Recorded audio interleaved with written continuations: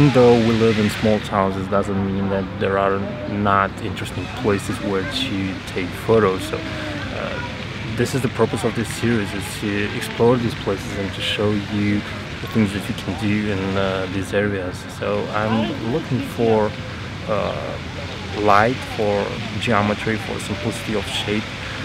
The same thing that I'm looking for in uh, a landscape photo. Boo. Boo.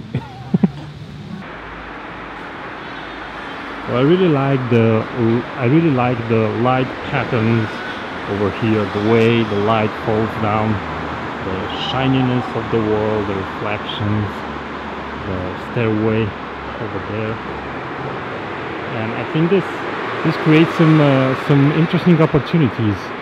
The building is fairly new, so it, it looks like a modern building.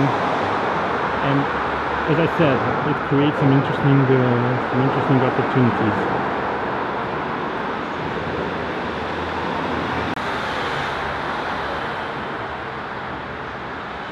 I'm pretty sure you can find these kind of places in your own town.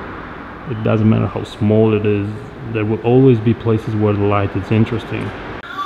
And now I ask Maria and Monica to pass through the light. You also see the photo and you can see how she's affected by the light.